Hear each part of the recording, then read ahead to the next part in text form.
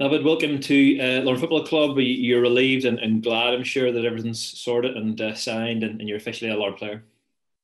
Absolutely, uh, delighted to obviously get the uh, the deal over the line. Um, can't wait to get going.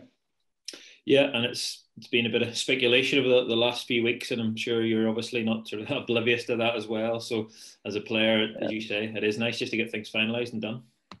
Of course, you know, uh, as a player, I just try to stay out of um, all the uh, the, the media stuff and uh, just want to concentrate on um, look, looking forward to, to getting to know the teammates and obviously speaking to the gaffer and can't wait to just be on the pitch and, and help the team as much as I can that way. Yeah. I'm sure whenever the, the possibility of, of coming to Larne came about, I'm sure you, you took quite a keen interest in what was happening at the club over the summer and the European exploits and and all of that. Um, you were you were impressed, I'm sure, just with kind of what what, what the club have done in, in Europe this summer. Of course, yeah. Um, obviously, the European stuff was just just to top off. Um, I think that Larne did exceptionally well last season. Obviously, they're in the two cup finals. Um, did well in the league as well. The style of football, I think, suits me to to the T.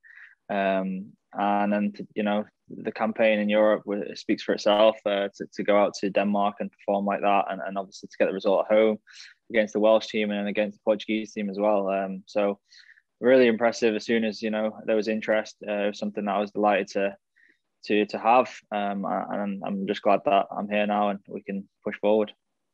Yeah, you, you touched on it in terms of maybe the style of play and, and you know what Larne probably is, is known for trying to do you know week in week out. Is that something that has been a, a big attraction in terms of you know wanting to, to join in with that and, and wanting to, to, to be a part of that as a player? Yeah, definitely. You know, I'm a I'm a football man myself. I live and breathe football, so um, being being someone from the outside looking in, I think I've I've been impressed by the way um, the team sets up, the way the club's ran, um, and obviously, as I said, I'm, I'm delighted to be a part of that, and I, and I feel like I can only thrive in this this environment, and hopefully, it'll be a successful one. Yeah, and, and presumably, sort of Tiernan has talked to you and, and, outlined his plans, and maybe where he sees you fitting in as well. And, and I'm sure that that's always a, a, major plus as a player, just you know where, where a manager sees you and, and wants you to, to be involved in.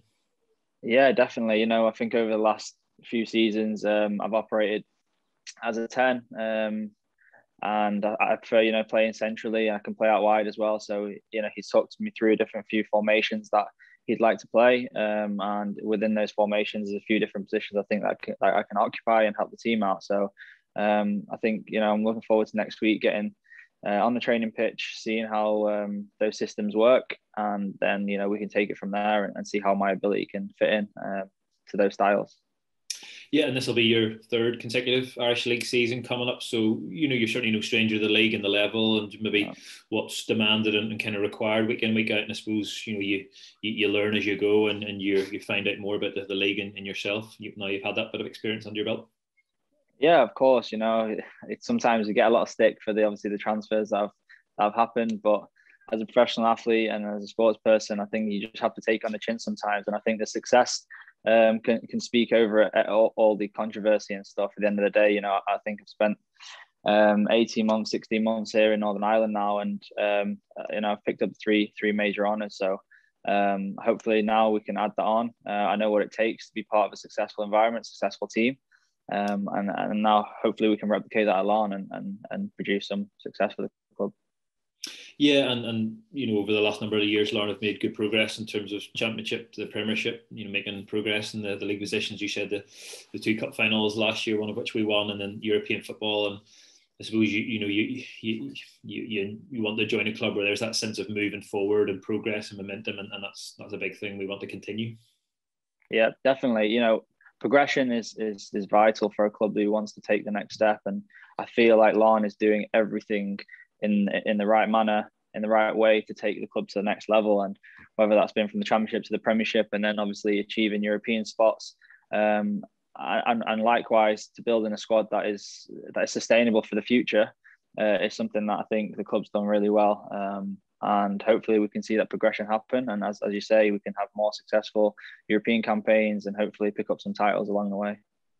Yeah, and uh, your time in the Irish League will obviously sort of know the, the strengths of the other teams, and it, it, makes for a very you know exciting Premiership. You have the teams who finished above us last year, and even those who, who were below, and are going to push very hard. So league kicks off next Friday, and it's you know it's a really exciting time for the Irish League in general. Yeah, definitely. Um, I feel like the league now probably, from what I've heard over the last few years, it's, it's the best it's ever been. It's the most competitive it's ever been. There's um, there's a lot of teams that um, will will challenge for those top places. So I'm just excited and raring to go and see what happens. And it's good to get um, sort of the transfer done in, in, time for the new season. Obviously, you know European football's been there, but the, the, the start of the league season, it's nice to be in and, and get settled and uh, you know have a, a, full campaign ahead of you as a player.